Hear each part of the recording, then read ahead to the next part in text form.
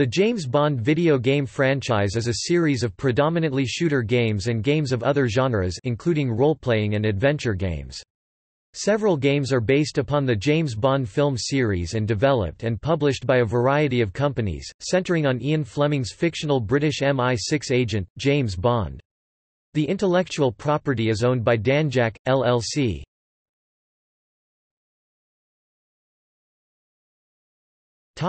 History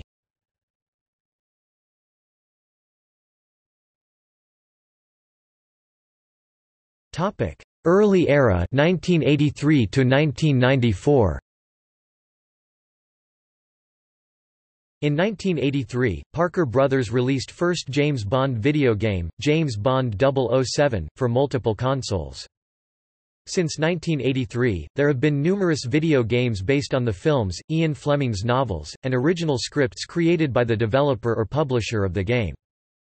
The video games were somewhat profitable in the 1980s and early 1990s, featuring a mixture of styles including side-scrolling action and text adventure.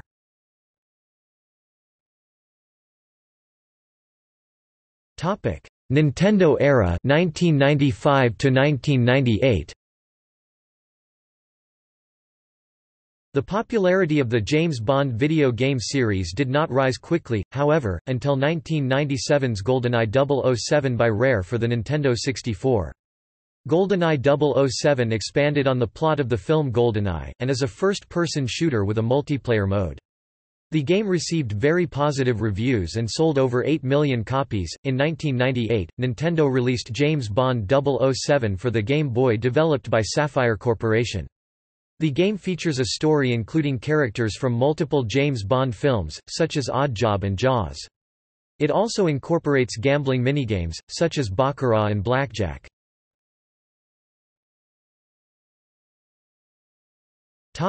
Electronic Arts era 1999 to 2005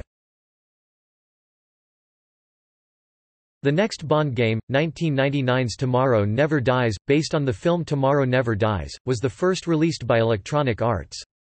Developed by Black Ops, it is a third-person shooter, released for PlayStation. The game was a financial success and received mixed reviews. The next titles, The World Is Not Enough N64 and The World Is Not Enough PS, are first-person shooters. However, publisher Electronic Arts, which owned the rights to publish video games based on the Bond franchise, chose different developers for different systems, Eurocom for the Nintendo 64 and Black Ops for the PlayStation, with different results, and the N64 version getting better reviews. Both versions were critical and commercial successes. A Game Boy Color game developed by 2N Productions, also titled The World Is Not Enough, was released in 2001. The game is played from a top-down perspective, and contains seven levels. The game includes a password feature. Allgame praised the game for its diverse level designs and its soundtrack, but noted the game's difficulty. In 2001, EA released Agent Under Fire for Xbox, PlayStation 2, and GameCube, featuring an original storyline and lacking the likeness of then Bond actor Pierce Brosnan. The game added the elements of rail shooting and driving segments to a first-person shooter. The game sold nearly 5 million copies, making it the second most successful game in the series, while only receiving mixed reviews. There are no differences between the console versions. In 2002, Nightfire was released. It was developed by Eurocom for the PlayStation 2, GameCube, and Xbox consoles, with a PC port by Gearbox Software and a Mac port by Aspyr. The computer versions are substantially different from the console versions, featuring different missions, a modified storyline, and online play. In 2003, the game also had a Game Boy Advance version by JV Games, which also differs from both the console versions and PC versions. In 2003, EA released Everything or Nothing, developed by EA Redwood, for the PlayStation 2, GameCube and Xbox. Unlike the two previous installments, Everything or Nothing is a third-person shooter with driving missions, and it stars the voices and likenesses of Pierce Brosnan, Judi Dench, Willem Dafoe and John Cleese, among others. It was written by the scriptwriter of GoldenEye and Tomorrow Never Dies, screenwriter Bruce Feirstein, with a plot connected to the Roger Moore Bond film A View to a Kill. It was released to mostly positive reviews. The game also had a Game Boy Advance version by JV Games, which differs from the console versions. In 2004, GoldenEye – Rogue Agent was released on the same platforms with the exception of the Game Boy Advance version. A first-person shooter loosely connected to the Bond franchise a spin-off, it stars a former MI6 spy known as GoldenEye, who works for Auric Goldfinger against Dr. Julius No. The game was panned for its misleading title and poor storyline. The game was released on PlayStation 2 Xbox, GameCube and Nintendo DS. EA listed 007 Racing and GoldenEye, Rogue Agent as spin-offs, out of their canonical order they have built. 2005 saw the release of From Russia with Love, based on the film From Russia with Love. It stars Sean Connery as James Bond, and the other characters had the same likeness of the original cast. The game is a third-person shooter in the same style as Everything or Nothing, with expansions in the story and certain details changed such as trading Spectre for Octopus, due to legal problems. The game received positive reviews, and was released on GameCube, Xbox, PS2 and PSP. Electronic Arts announced in 2006 a game based on then upcoming Casino Royale, but it ended up being cancelled, because it would not be ready by the film's release in November. This fact, which would lead MGM to lose millions in licensing fees, along with EA's commitment to move away from movie franchise games and focus more on internal intellectual properties, led the company to abandon the Bond franchise in May 2006.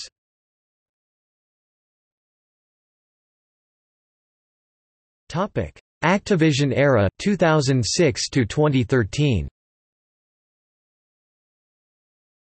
Shortly after Electronic Arts abandoned the license, in May 2006, Activision acquired non-exclusive rights to develop and publish James Bond games, which were to become exclusive in 2007.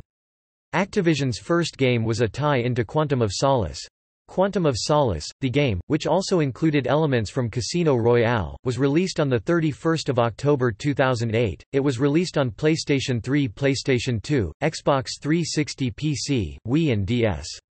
The game received mixed reviews, with the PlayStation 2 version receiving the best reviews. At E3 2010, Nintendo revealed GoldenEye 007, a remake for the Wii of the 1997 game.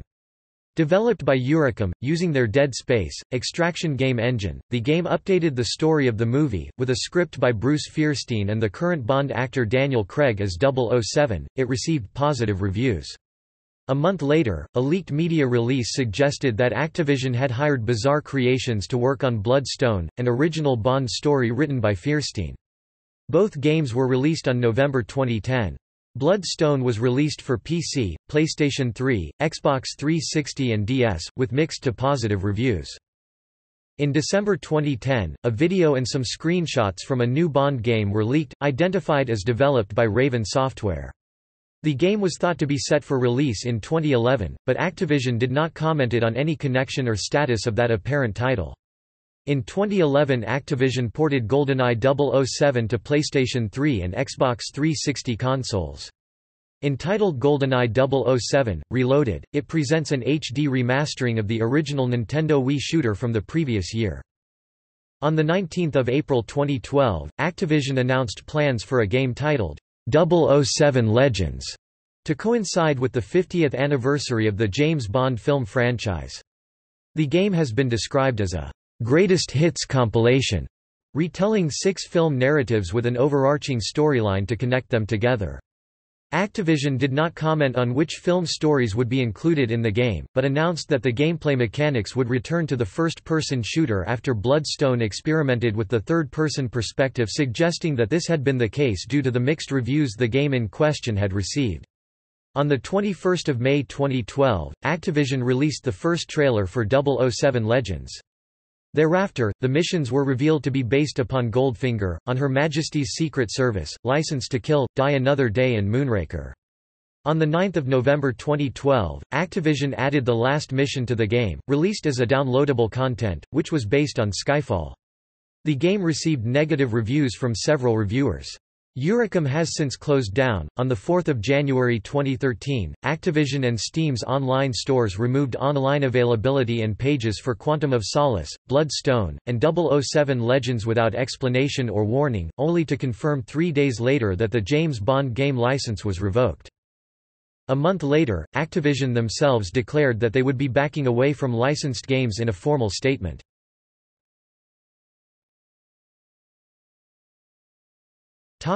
Future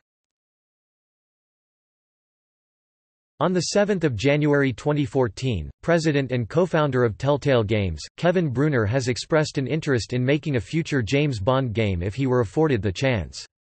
He stated that, "...I'm a giant James Bond fan and I'm always frustrated by games that make him a mass murderer." When he was asked which license he would adapt next if money and licensing hurdles were not a factor, "...he's a super spy, and that's a different skill set." The films make him less of a mass murderer, and there's not much killing in the books, more spying and intrigue. Following the inquiry, a rumor sparked in June 2017 about a potential video game regarding the franchise being developed by Telltale, entitled 007 Solstice. However, the rumor has become further unlikely when Telltale filed for bankruptcy and closed down in November 2018. On the 21st of January 2016, president of Curve Digital, Dominic Wheatley expressed his interest alongside the company in the series, saying, "I'd be very happy to have a James Bond license. We could do a cracking game around that." Adding that these opportunities are overlooked by the bigger firms, since Electronic Arts and Activision have their own IPs and no longer want to promote someone else's brand.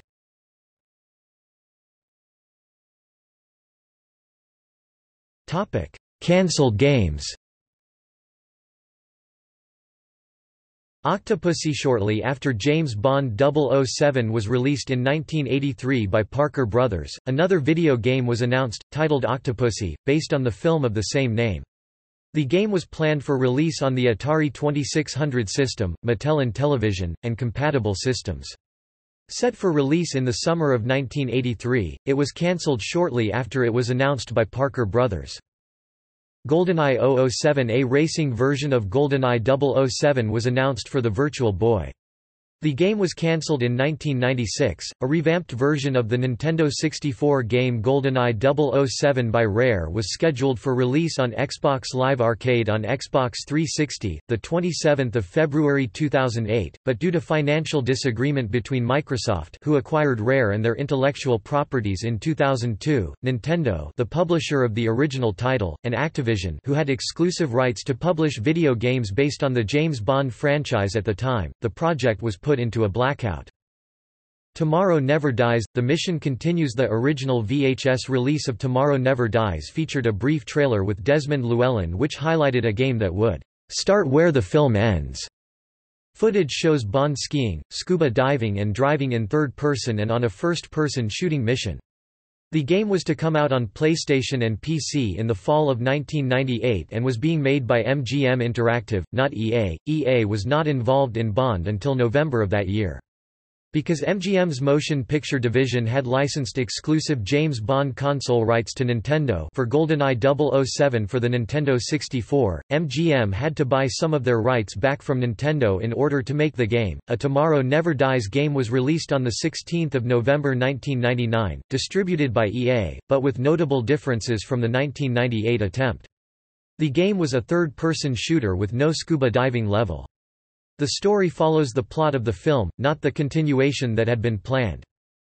A level in the game sees Bond skiing down a mountain and killing a Japanese terrorist named Satoshi Isagura who had featured very briefly in the film, while on another stage Bond has a driving mission in Switzerland. These were not from the film and may have survived from the continuation story. The World Is Not Enough a game based on the 1999 film The World Is Not Enough film and using the Quake 3 Arena engine for the PC and PlayStation 2 was cancelled in favor for Agent Under Fire. Electronic Arts thought, by 2001, that too much time has passed since the release of the film, and that fans would be no longer interested in the product as talks of the succeeding film in the series, Die Another Day, were taking place. Casino Royale a game was in development based on the film of the same name. Daniel Craig, in character as Bond, was going to give his voice and likeness to the video game.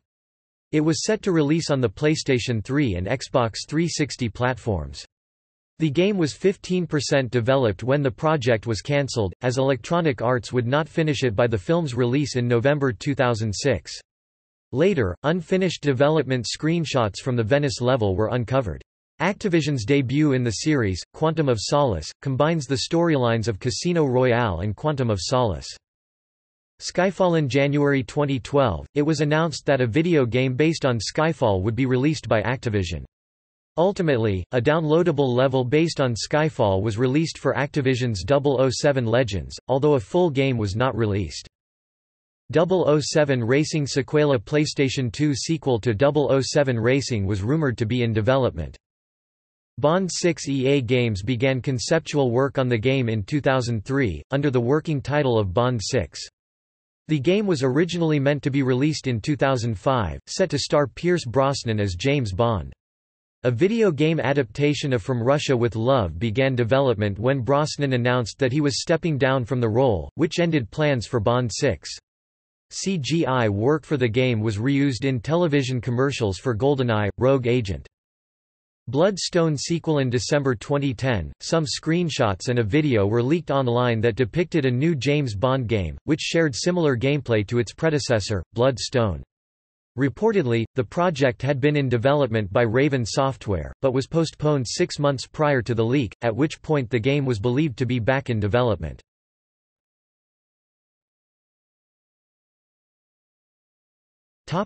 Other games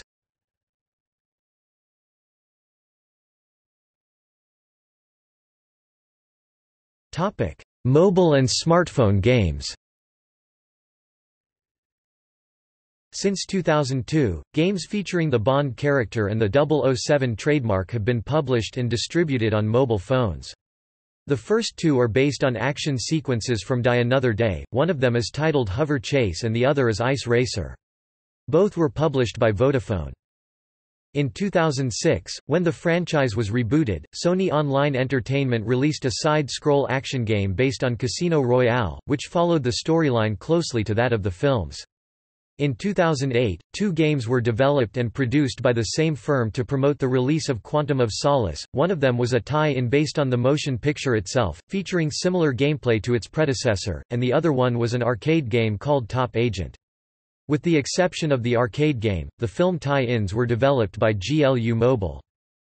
In 2014, it was announced that GLU Mobile was assigned to work on another game for tablets and smartphones.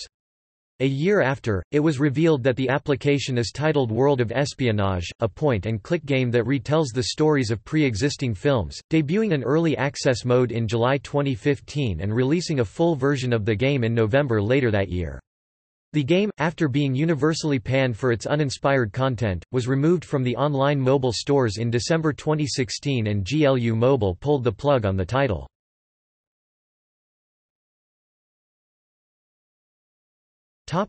Fan-made remakes There are two separate fan-made remakes based on GoldenEye 007. The first, GoldenEye Source, is a multiplayer-only total conversion mod using the Source engine, which began development in 2005, making its official worldwide debut in December 2010. The second, entitled GoldenEye 25, is based on the single-player mode, which entered development in 2017 by a different team, using the Unreal Engine 4 as its host, aimed for release on August 2022 which marks the 25th anniversary of the original video game. In 2013, fans of the original Nightfire began porting the PC version to the Source engine, planning to release it on Steam as Nightfire, Source.